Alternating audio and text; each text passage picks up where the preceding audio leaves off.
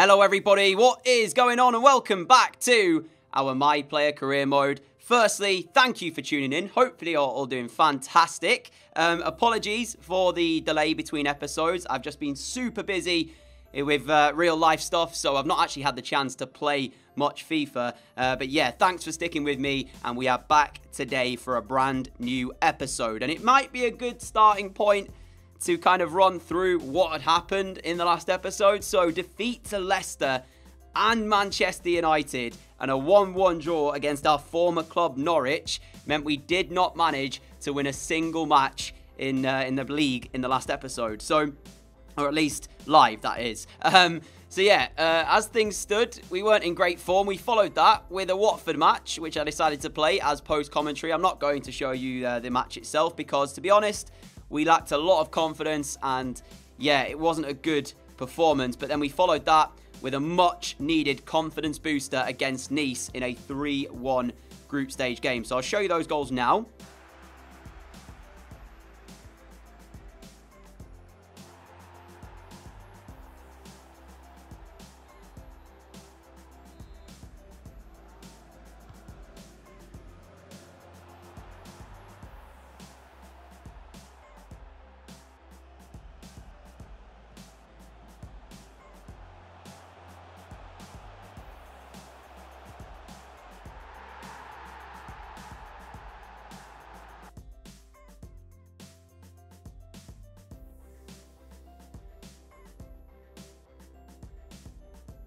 And with those results then, as you know, it means we now trail Liverpool by five points after 16 league matches have been played. Manchester United currently third, with Leicester just behind them in fourth place. And uh, all in all, goal difference wise, we're looking very, very good, but it's just that point gap that we need to try and claw back today, starting with Everton at Stamford Bridge. So, Everton right now um, unless, of course, they're in the top six. We won't be activating competitor mode for this, so we'll skip ahead and we'll check out the two lineups and then get straight into our first of the hopefully three or four matches we have for you today. So, yeah, sit back, relax, and hopefully enjoy. Everton's 16th coming into this, so you'd like to think that we will manage the victory here at Stamford Bridge. There's the two lineups, but just quickly as well, I want to make sure the competitor mode is uh, is actually off here, and as you see, there it is. It is off. Ultimate difficulty, of course. But the last league match we played, that Watford game, we just didn't really look like scoring. So we need to try and get some confidence going. And hopefully that 3 1 win against Nice might just help us do that. Although, even in that game, to be honest, aside from the set pieces that we created the goals from, we didn't look that great in open play. So we'll see. So it's Carlos Ancelotti and Everton to start our live action for today. And we want to be starting with a win if possible, as Kean can play us through. And already we're in behind for Chelsea's first. And what a dream start we've got here at Stamford Bridge then. Four minutes in, we strike to give our side the lead. Get in. That is the best possible start I could have hoped for. Especially, you know, we were so kind of slow against Watford. It felt like we just didn't really look like playing uh, uh, out of kind of second gear, if you will. But that's the best start that we possibly could have managed. Here is Gnabry into the feet of Bakayoko. Chelsea look hungry to go and find a second here as Digne is supporting us on the left-hand side. Here is Luca Digne. We're still here as well. And he plays that ball back to us. Everton allowing us a run into the penalty area. Digne carries and still continues his run forward. And it's 2-0 as, and as many minutes really for Chelsea. There's been, what, five or so minutes between two goals here. And Everton are stunned. And really, they should have dealt with this. It's not that great from Chelsea, honestly. It's a simple attack down the left-hand side, eventually playing a 1-2 with Digne, who carries his run forward, and then with the right foot in at the near post, doubles Chelsea's advantage. Everton in real trouble here. I'm very glad as well that you are getting to see us playing well in one of the live matches. I feared when I played the Watford you know, fixture that we actually wouldn't be very good here. Kean's just made it 3 0. What's going on? We're 20 minutes in, it's 3 0 Chelsea. Well, well, well, Everton, we actually might be able to get quite the resounding win here. That, on top of the goal difference we already had in front of Liverpool, would be a real help as well. Because the way things are going, we might need goal difference come the end of the season. Fantastic finish from Moise Kean. Chelsea not done there, I hope, though.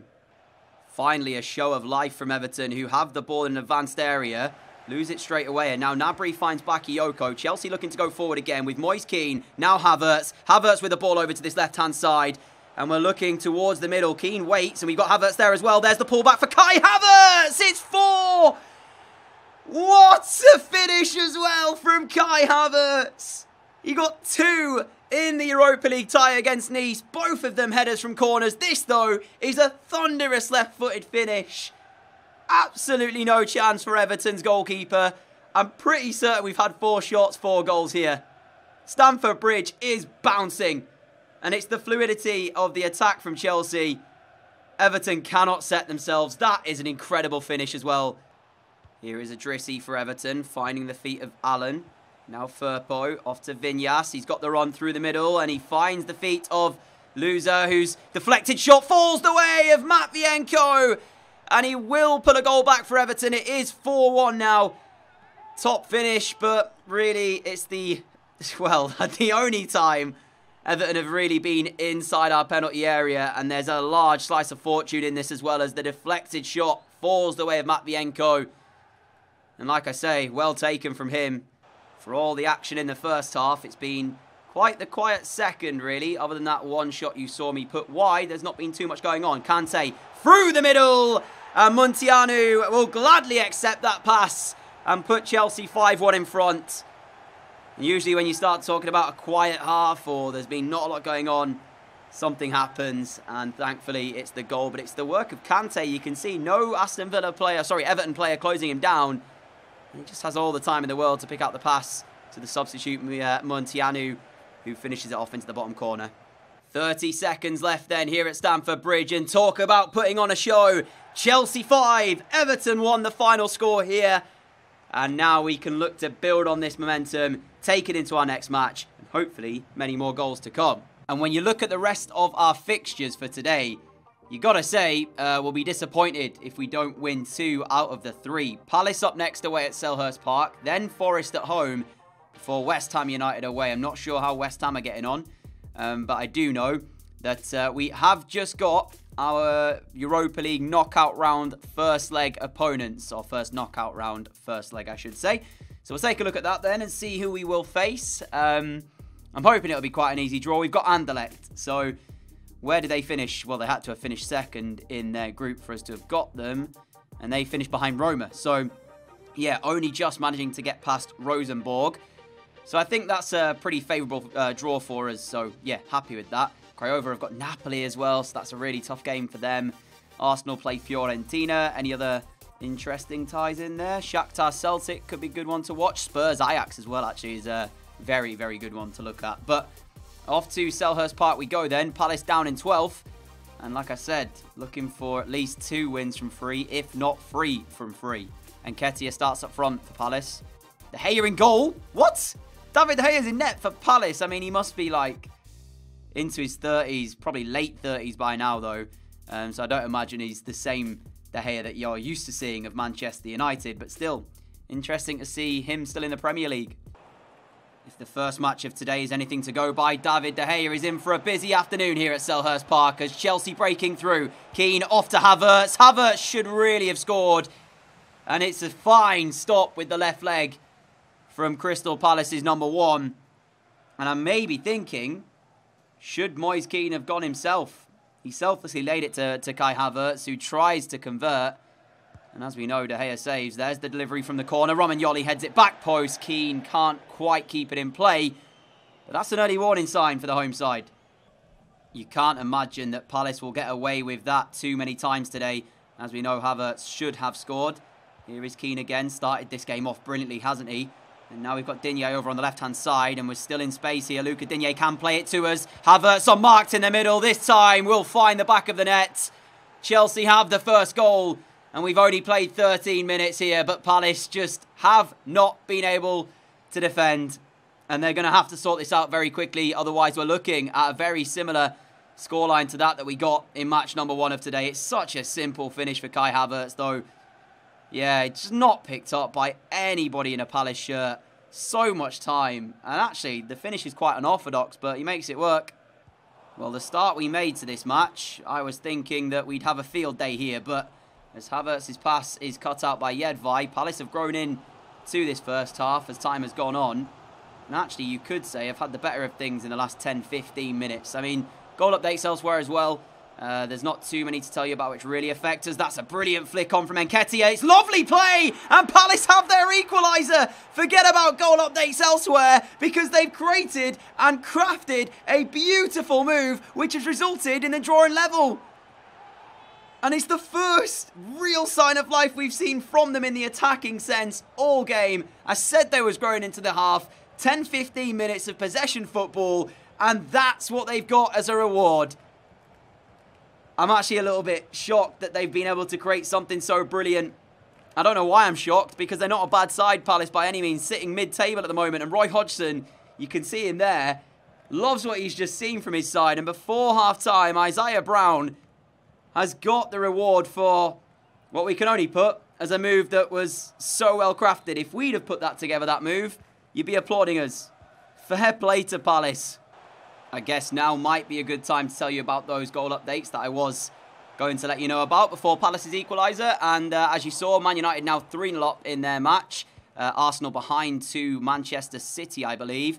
But elsewhere, the one that does actually matter to us as we're looking to break down this left-hand side. Liverpool being held by Southampton. 1-1 the scoreline there. Can we get a chance to go back in front here? There's the cross towards the back post.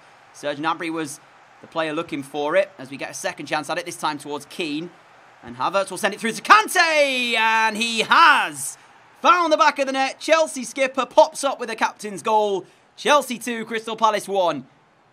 And we are looking to take advantage of any potential Liverpool slip-up if Southampton can hold on to any result there. And it is at St Mary's as well, so if home advantage, they might just be able to do it. Kante, when you need him most, captain's goal puts Chelsea back in front here.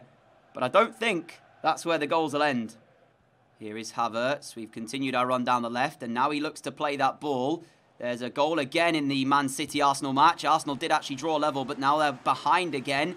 Havertz, a quick one-two, will allow us to get in down the left, but I can't get a shot away, so we'll look to pull it back to the middle. Kean shot blocked. Ferguson heads it away. Jedvaj hooks it away. And the pressure, though, still on Palace as Jimenez finds Bakayoko, who sends it towards, and we look to put one in the top corner.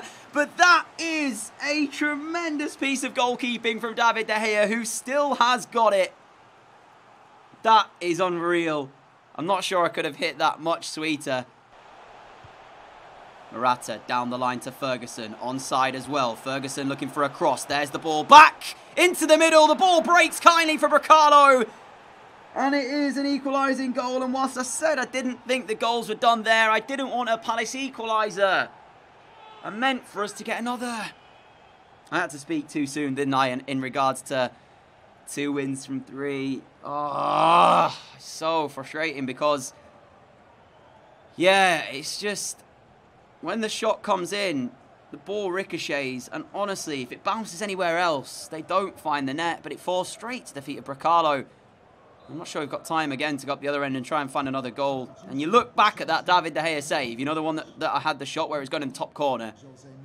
That was unreal, right? And then that happens. Jimenez is off. Chelsea going on the attack. Oh, it's a heavy touch. It's poor. It's just tired legs. And 30 seconds to go. I have reminiscence of the Norwich 1-1 draw that we got in the last episode. It feels similar here at Selhurst Park. It's finished Palace 2, Chelsea 2, and we can't take advantage. And now our only hope is that Southampton held on to a draw against Liverpool, which we will see if that's the case. Palace had two shots on target. Of course they did. And as you see, oh, Liverpool, man. They found a goal to go in front against Southampton, winning that 2-1. So that uh, makes our draw here even more annoying. Seven points now, the gap. United's win and Leicester as well means they actually have three points behind us. You know what?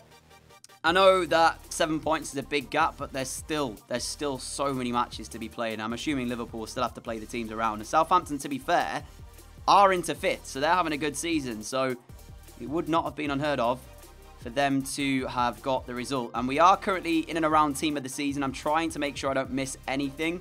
Um, I'm pretty certain it's, it's done in January, though. That was just the shortlist that you saw there. So, uh, yeah, we'll see what happens with that. Still yet to find a player of the year in the series. Maybe this will be the year. Hopefully, anyway. I guess we'll just go straight into our next one then, which is Forest. From Stamford Bridge, there's the lineups. They're in 18th. Gotta win. We simply have to win. And, to be fair, win comfortably. So, let's see. Digne onside, and now he's in the box. There's the ball in. Kean's header, and it's in the bomb corner. I don't know how he's turned that into a golden opportunity, but Moise Kean strikes early doors here at Stamford Bridge with a brilliant header. I mean, the keeper's made a bit of a meal of it, right? But I think he's possibly expecting uh, Kean's header to go wide. Does it clip the post as the ball goes in? I think it does. Yeah, there you go. It does clip off the post. Fantastic header from Moise Kean. Chelsea lead 1-0. I'm not going to say anything about us, you know, dominating this match until we're 2-3 up and comfortably cruising because I don't want to jinx things. Serge Gnabry across the face of goal. Should score from the first attempt. Luckily, the ball has bounced straight back and we do slot it home on the second. Can't really go too crazy about that because we we've got to score there. I mean, Serge Gnabry's laid that on a plate for us. I'm quite surprised, actually. I didn't score the first attempt. There you go. I mean, I guess Ruben Blanco is in a great position, but even so, to hit it straight at him, that's pretty poor from me. Wave after wave of blue attack here from Chelsea. Gnabry, Havertz. Well, now I'm going to say it. Chelsea 3, Forest nil. Points are in the bag. And famous line that cost us last time against Palace. This might resemble a scoreline similar to that of match one up against Everton. When I said that, we drew 2-2. This time, I'm very confident there's no way back here for Forest. Lovely move again. Havertz slots home. Every time Forest clear the ball, it just comes straight back at them. Here is Digne in down the left-hand side. Across the face of goal to Kean. And he will convert for Chelsea's fourth. And I tell you, he's deserved that. Moise Kean is so instrumental to Chelsea. I don't know why he's, he's getting substituted for Piątek or Munteanu because he just holds up the play and gets other players around him involved so much better than the other two do. Rodriguez in space here. Forest going forward. Near post cross. And there's Cavallo. And Forest will get a goal. Mendy will be livid. He's had nothing to do all game and he's lost the clean sheet because Chelsea fall asleep. I mean, yeah, clean sheet obviously doesn't really affect me being an attacking player, but it would still be nice.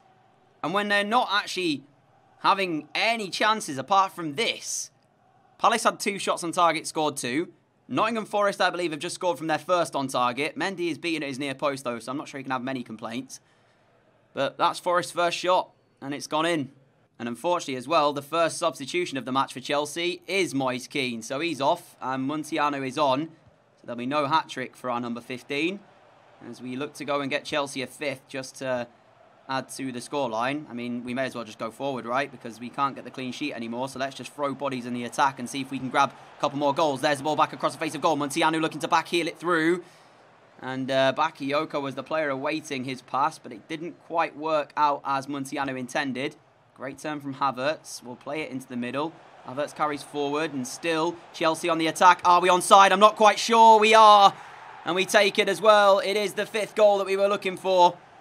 And the offside flag, well, it never came. I want to see how close it actually is. I'm not sure we'll get a, a good look from this angle. You can see, I mean, nobody really in a Forest shirt even appeals though. Full time here at Stamford Bridge. It finishes Chelsea 5, Forest 1. It's the result that you probably expect. And now we have to see if Aston Villa are able to do us a favour by getting anything from Liverpool. They are facing Liverpool at home, so fingers crossed. I love how it says that we scored the winner or bagged the winner against Forest. We won by five goals to one. That makes out like we'd just about ended up with the win. But uh, yeah, apparently we bagged the winner against Forest, not like there was four other goals. And uh, to let you know as well, I got it wrong. Um, Aston Villa weren't at home. But I think they did manage to pull off a result for us. As you see, the gap to Liverpool back now down to just four points, which makes me think they won. They did. So Villa went to Anfield and beat Liverpool by two goals to one. That's a massive result for us. All right, we can really get the momentum going then as we face West Ham United. Liverpool at home to Stoke. You'd expect them to win that comfortably. Stoke down in the relegation zone. In fact, dead bottom. One win after 19 matches. West Ham for us, though, are... Where are West Ham? They're probably down there as well. Yeah, 17th. So should win this as well comfortably like we did against Forest. It's time for our last match of today and we've been given away back into a potential first place. We could claw the gap down to just a single point if results elsewhere go in our favour and we win here at the London Stadium. But there's some interesting names in that West Ham side. Thiago Almada in behind Rafa Leao is not a bad striking partnership whatsoever. It's a very different David Moyes and West Ham to the one that we see in real life. Of course, they're sat on the verge of potential Champions League football. However, in our series, they're sat on the verge of relegation. So it's going to take something almighty for them to get the result, it feels like, here today. And they do get us underway and start pretty strongly. Almada with the ball over to this left-hand, or right-hand side, I should say. Tolisso, good control shown by him. And I believe that is a Chelsea throw as we force it off of Tolisso. Gnabry finding Atal. Brilliant ball across! How about that for an opening goal from Chelsea? Yusuf Atal with a fired ball back across the face of goal.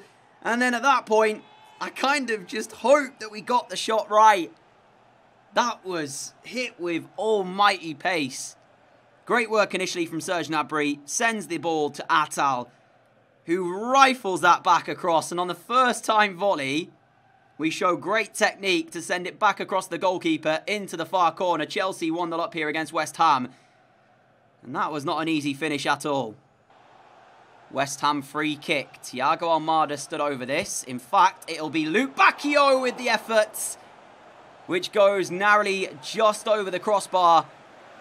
And if you look at the angle here, the ball and the free kick had Kepa flying over to that side. I think he's got it covered, but it was not far away from Luke Bacchio for a West Ham equaliser, who since the goal have gone in, that seems to have spurred them on. They seem to uh, look like a bit of a different side after we scored. They've actually been able to create a couple of chances down the uh, wings and try and get in behind for crosses, which you've dealt with with relative ease. Here is Havertz, now looking to turn and get Chelsea back on the front foot. And we does find a great ball into our feet. We need Kean to make this move through the middle. There's the pass through. Moise Kean's in for 2-0. He's not going to miss that. And he does double Chelsea's advantage. And for all of the work that West Ham have been doing to try and get themselves back in this match, well, it's got even harder here. Just a simple, simple goal in the end for Chelsea. Ball through the heart of the defence, into the feet of Kean, who, as a top player, is never going to miss that. Just sends it into the bottom corner. Kante finding Digne. There's the ball in. Gnabry attacks it. Havertz, I don't know how he's done that. And the ball, how has he got that volley in the back of the net? Seriously. He just watches the ball drop onto his left foot and it's a rocket from Kai Havertz. And Villa seem to be keeping up with the giant slaying, I guess you could say. Um, I, I, well, can you call it a giant killing? Because at this point, they've beaten Liverpool and they've just taken the lead against Manchester United. 2-1 the score there as well. In fact, yeah, that's how he's done it. Quality. Um, yeah, 2-1. So we've seen that they have the capability to hold on to a lead. They did it against Liverpool, and they look like they might do it against uh, against Man United. Well, any hopes we had of a Stoke win have just been squandered because I've now seen that Liverpool are 5-1 up. So I think they're probably going to win that. Um, yeah, so it'll keep the gap at the top the exact same as it was when we came into this uh, this match here. Rafael's ball forward cut out, and there might be a chance for Chelsea to grab a fourth. You never know. Munteanu is there to support, and Havertz, well, doesn't really control the ball. Jimenez had a fine episode, by the way. He's been solid at the back four, as apart from the Palace game. Chelsea free kick, and with seconds left, it looks like it's our first clean sheet of the live matches today. Of course, we got one against Watford in that nil-nil draw that you probably haven't seen because it was, well, nil-nil, so there wasn't much to show you. But Anyways, that's a good win for us. Let's take a look at the table. We already know that Liverpool have comfortably beaten Stoke, so we know that no matter what, we're still four points behind them. But we started five, so I'll take that. And so here it is then. 18 matches left. Four points behind Liverpool now. Leicester up into third.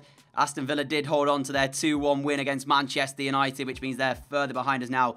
They are eight points adrift of us. Spurs up into fifth. Southampton into sixth. City well, they seem to be struggling on their title defence. down in seventh place. Villa up into a very impressive ninth. Brighton as well, impressive so far. Arsenal down in 11th. Norwich in 13th. So Norwich looking like at the moment they might well stay in the Premier League. They are six points off of uh, relegation zone, so six points in safe. Everton down in 16th still, West Ham 17th, and you can see the bottom three. So we played effectively Everton, West Ham, Stoke, oh sorry, Nottingham Forest today. So we played three of the teams in the bottom five. So yeah, I mean, aside from the Palace result, it's been a really, really good episode for us. We've got Anderlecht in the Europa League. When do we play the first leg of that? I think it's February, I want to say. Um, yeah, February. So it's in between Norwich and Manchester United and Watford. So that's quite nice for us, to be fair. And I want to take a look as well and see where we stand in the top goal scoring charts. We're top 14 and 20.